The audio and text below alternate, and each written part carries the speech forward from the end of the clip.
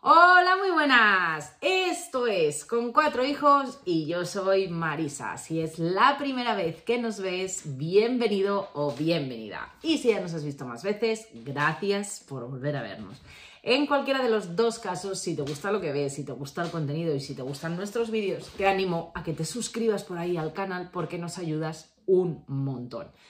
Y te recuerdo también que por ahí hay una campanilla que si la activas, pues cuando vayamos publicando vídeos, YouTube te va a avisar de que hemos publicado. Luego, pues dependiendo si te interesa o no el contenido, tú decides si lo ves o no, pero te sirve para saber que hemos publicado contenido.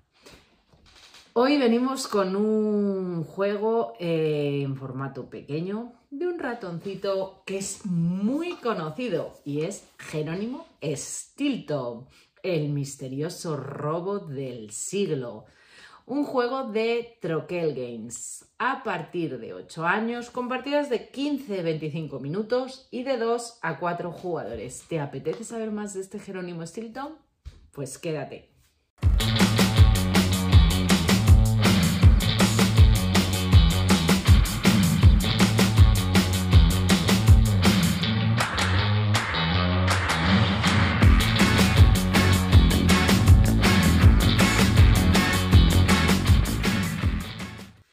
Pues en este juego de Jerónimo Stilton, en el misterioso robo del siglo XXI, nos vamos a convertir en investigadores, tratando de resolver misterios. Eh, al más puro estilo de los libros, eh, nosotros tenemos algunos libros de ellos, El misterio manuscrito de Monstratatus, En busca de la maravilla perdida, tenemos por aquí algunos libros del famoso Jerónimo Stilton, aunque no es un top en casa, eh, hay algunos. Eh, yo creo que es un, ratón muy conocido entre muchos niños y un top ventas, un top en ventas de libros para niños. Eh, por la animada que es la, lectura y, la aventurera. Y esas mismas sensaciones pretende transmitirnos este Jerónimo Stilton el misterio del robo del siglo, el misterioso robo del siglo, el juego de mesa. Eh, ¿Lo conseguirá? ¿No lo conseguirá? ¿Nos vamos a encontrar un juego de deducción realmente? ¿O de esos que aparentan ser deducción y luego no hay que deducir? Todo eso. Componentes, cómo se juega, os lo explico. Y luego os cuento las conclusiones finales y qué nos ha parecido este Jerónimo Stilton. Así que cambiamos de cámara y os enseño. Cambio de cámara. Bueno, pues aquí tenemos el juego de Jerónimo Stinton, el misterioso robo del siglo. Eh, ¿Qué nos vamos a encontrar al abrirlo? Bueno, pues lo primero que tenemos, nos vamos a encontrar un libro o un cuadernillo eh, con hojas que utilizaremos para jugar. Cada jugador llevará una de estas hojas. Atentos porque viene con un código QR que nos dará acceso a la web del juego para poder descargar fichas personalizadas. Eh, aquí pues tenemos los tres grupos de cosas que tendremos que adivinar. Tiene una tarjeta de presentación del juego y por la parte de atrás también nos viene con un código QR en el que nos habla de los distintos juegos que tiene la editorial de Trollkel Games. Eh, nosotros tenemos bastantes de ellos y hay mm, juegos que son muy interesantes. Os recomiendo que le echéis un vistazo, alguno está en el canal, pero os recomiendo echarles un vistazo a Trollkel Games porque tienen cositas muy interesantes. Aquí tenemos como una especie de, reloj o lo que simula ser un reloj, que será como un tablero central que utilizaremos como de parte del juego. Aquí tenemos las instrucciones, las reglas son bastante sencillitas, eh, tienen poquitas páginas. Ojo, si os estáis fijando al ver las reglas, que hay cosas rarillas durante las reglas. Ahora después os explicaré por qué esas cositas y qué quieren decir. Bueno, eh, nos explica cómo se juega al final de partida, luego nos explica un modo de juego súper quesiástico, o sea, como un modo especial, un poquito más complicado, y luego nos explica un poco de los cinco misterios perdidos, que luego os diré de en qué consiste. Por un lado tenemos las cartas de misterio, que son estas cartas de color azul, que son de tres tipos. Las diferenciamos los tipos por el color de la parte de arriba y del pergamino de la parte de abajo. Entonces son de personaje las que son así grisáceas, azuladas, son eh, de localización, pues las que son de color verdoso y de objeto, estas que son así como rojizas, más o menos, de objeto. Tenemos también las cartas de investigación, que es este mazo grande, que vienen con una numeración de eh, el 1 al 39. Aquí, bueno, nos vamos a encontrar los icónicos personajes de Jerónimo Stilton y como parte predominante, sobre todo, nos vamos a encontrar el reloj. El reloj vendrá con dos agujas que señalan dos números. Por ejemplo, este señala el 12 y el 10. O en algunos también habrá eh, posibilidad de que pues, señale tres números, el 1, el 3 y el 5. Luego os explicaré cómo se utilizan las, las cartas. Y luego pues tenemos las cartas de investigación grandes de reloj que solamente señalan un número y dependiendo de la dificultad que queramos darle al juego, pues eh, incluiremos más o menos cartas en el juego. Una vez vistos los componentes que forman este Jerónimo Stilton, tenemos estas tarjetas que nos quedan en la caja. Y diráis, ¿y qué son esas tarjetas? Bueno, pues el juego nos trae cinco misterios que podemos resolver. Como sí, cinco acertijos o cinco mini misterios. Eh, por la parte de delante pues nos presenta el misterio, como la carátula. Por ejemplo, aquí tenemos los misterios perdidos, la desaparición de la piedra roseta. Y pues vamos a tener que resolver algo. Ojo que por eso os decía que todos los componentes son importantes, porque en las reglas, en la caja, vamos a poder encontrar cositas. Y bueno, pues nos da un pequeño texto introductorio este, por ejemplo, que es el primero, diría, la legendaria piedra roseta ha sido robada del Museo Arqueológico del Ratara y junto con ella ha desaparecido mi buen amigo, el doctor Hamstertoff. Tengo que ponerme zarpas a la obra y buscarle. Empezaré yendo a su despacho. Vaya, parece que se han estado buscando entre sus cosas. Está todo hecho un desastre. Hay papeles por todas partes. Pero un momento por el pedazo de parmesano más oloroso. ¿Esto es un código? Seguro que el doctor lo dejó para que pudiera dar con él. Debo ser minucioso y buscar todas las pistas. Bueno, pues aquí nos presenta un código que tendremos que resolver. Hay que investigar, ver...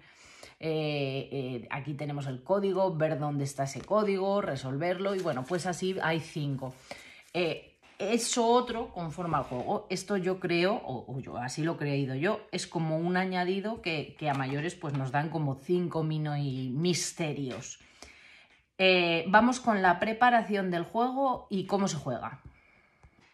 Colocaremos el tablero en el centro de la mesa, daremos una hoja de investigación a cada jugador, separaremos las cartas de misterio por el tipo de carta en tres mazos, sin mirarlas, las barajamos y sin mirarlas, retiraremos de cada mazo una carta, sin más, o sea, quitamos de cada mazo una carta y luego ya juntamos los mazos. Esas cartas se meten a la caja sin mirarlas y así estará a buen recaudo pues nuestro misterio o aquello que tenemos que resolver. Estas cartas se barajan bien, tenemos aquí dónde, quién y qué y hemos retirado una de dónde, una de quién y una de qué, que es lo que tenemos que averiguar. Una vez que estén bien barajadas, pues las colocaremos alrededor del, del reloj, del tablero este, una con cada número. Como estáis viendo, pues una en cada número.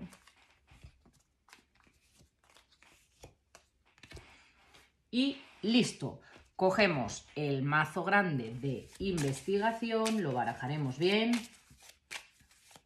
y repartiremos tres cartas a cada jugador. Bueno, pues si simulamos, por ejemplo, una partida a tres jugadores, a dos jugadores, pues cada jugador tendría tres cartas. Luego decidimos el nivel de dificultad. Como decía, el nivel de dificultad lo vamos a decidir por estas cartas de reloj grande, dependiendo pues de la dificultad que queramos. Si lo queremos relativamente más sencillo, vamos a meter seis cartas. Si lo queremos más difícil, cinco, cuatro o tres o dos, las que nosotros queramos. Pero bueno, eh, en un principio pues meteríamos pues cinco cartas, por ejemplo. Entonces las vamos a introducir en el mazo se baraja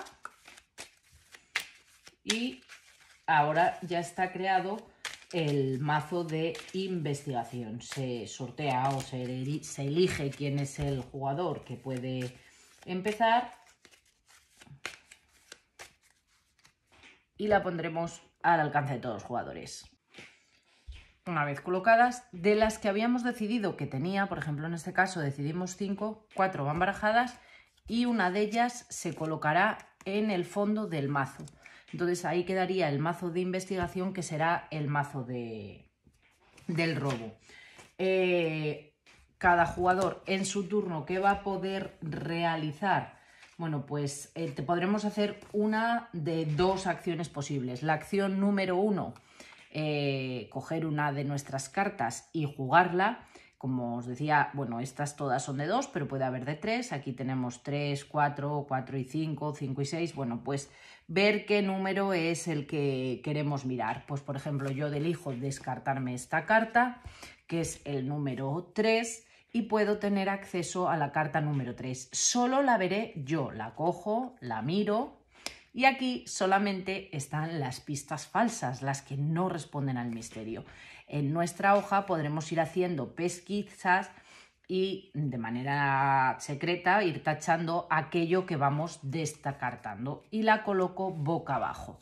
Luego el otro jugador coge sus cartas, mira a ver qué carta es la que quiere jugar, pues voy a jugar esta que tiene el 12 y el 2, decide que va a mirar el número 2, le echa un vistazo, ve que el personaje fiel bombón sabe que no va a ser, la coloca boca abajo y se acaba la ronda. La siguiente ronda la empezará el jugador que jugara la carta más baja. Entonces la siguiente ronda volvería a tocarle al jugador de este lado, porque este jugó un 31 y este un 28. Entonces le toca a él. Cada vez que se juega una carta se repone esa carta también.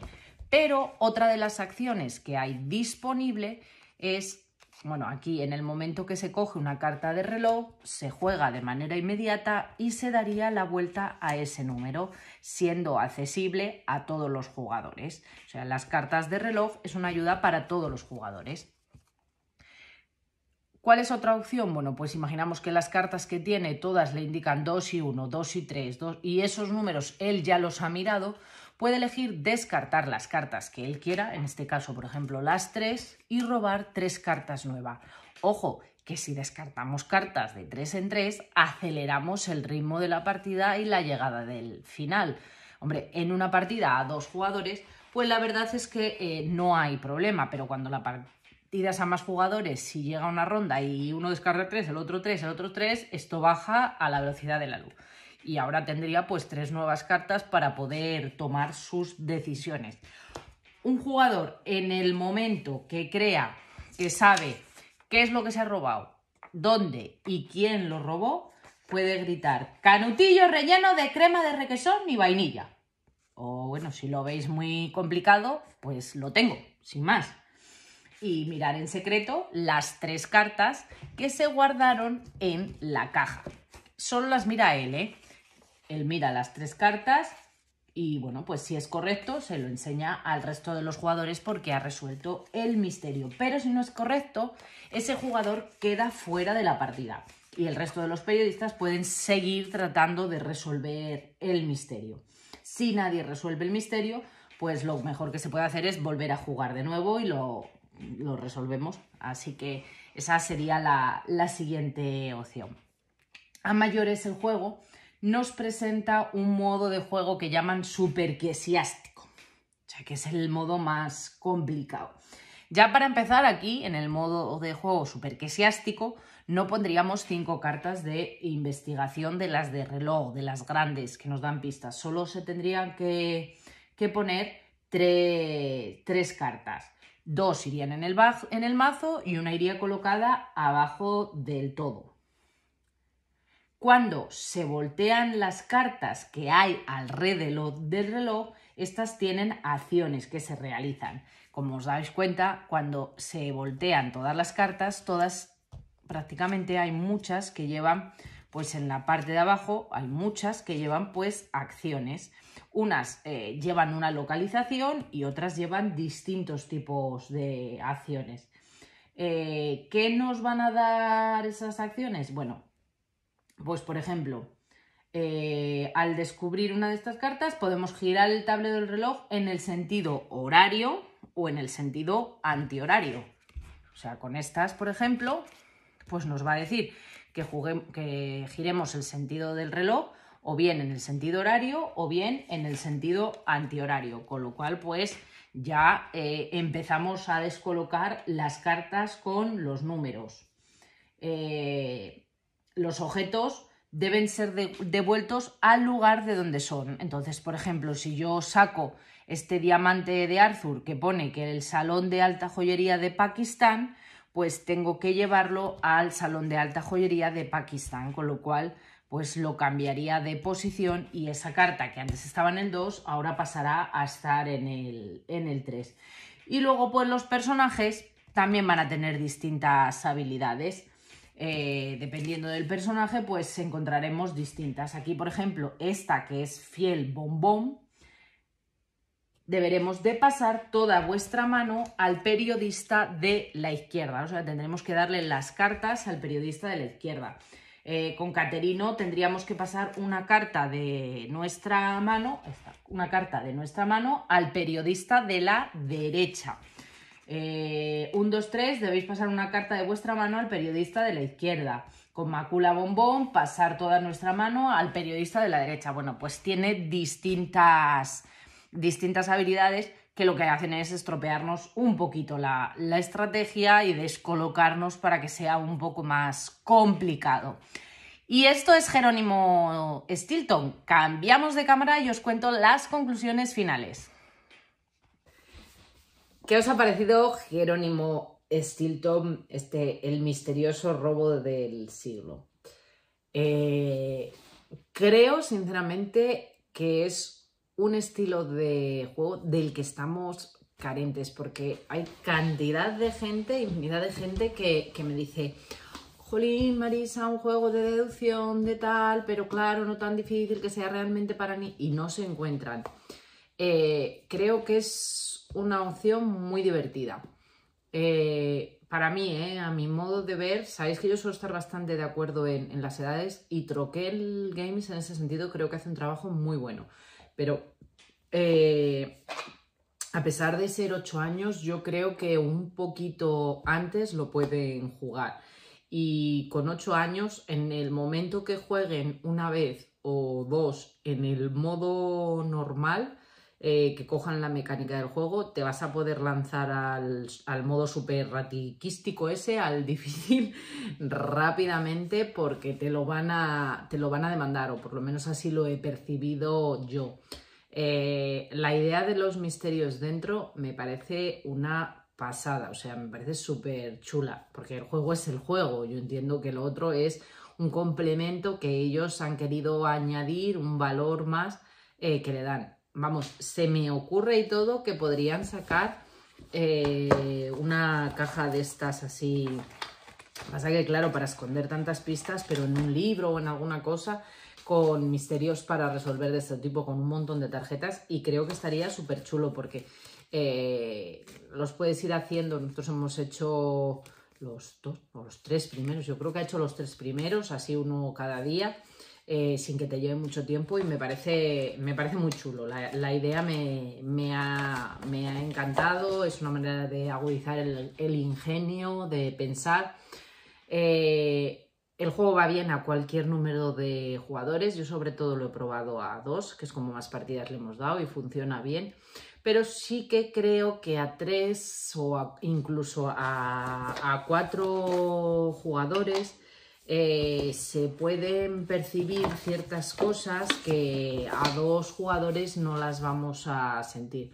Como pues eso, lo que os comentaba mientras explicaba la partida, eh, si te descartas cartas, la velocidad con la que te vayas descartando, descarto tres para coger tres nuevas. Claro, no es lo mismo en una partida dos que uno se descarte tres cartas y coja tres nuevas, o los dos incluso que se descarten tres cartas y cojan tres nuevas, que son seis cartas, que en una partida a cuatro, que si se hace eso dos veces, o sea que todos los jugadores, cuatro jugadores, durante dos rondas descarten todas las cartas, estás hablando eh, de que te metes en 24 cartas en dos rondas. Entonces la partida va súper rápido, se te va a acabar el mazo muy rápido.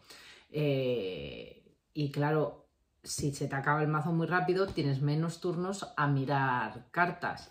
Te la puedes jugar también eh, a, que sea lo que tú piensas sin tener del todo, del todo claro. Creo que es una propuesta muy interesante eh, de Jerónimo Stilton. Sé que hay muchísima, muchísima gente que es súper fan de Jerónimo. Nosotros en casa no, no es... Le gustan mucho los libros, los libros de misterio a la mayor. Tenemos eh, de Amanda Black, de otros de que son así con una apartada amarilla, que no me acuerdo cómo se llaman también, que también son de, de misterio, de una chica que resuelve misterios. Tenemos los diarios de Cereza, que también tienen varios. En cambio, estos de Jerónimo Stilton, a pesar de que tenemos estos dos que os hemos enseñado, no es que le, apasionen, pero a pesar de no ser su top de libros, el juego sí que nos ha, gustado y ya os digo que ocupa un lugar que no hay mucho, que sé que muchas veces eh, me pedís de este tipo. Eh, si jugáis incluso con niños más pequeños, eh, podríais jugar cooperativamente, apuntando los dos, porque lo, pueden apuntar, o apuntando en una sola hoja las deducciones que vais haciendo. O sea, si él solo mira la carta y que os vaya diciendo, si no saben leer, incluso por descripción. Pueden ir, hablando sin enseñaros la carta, describiendo lo que ven para que tú apuntes por descripción. O sea, le veo muchas utilidades y lo veo muy interesante.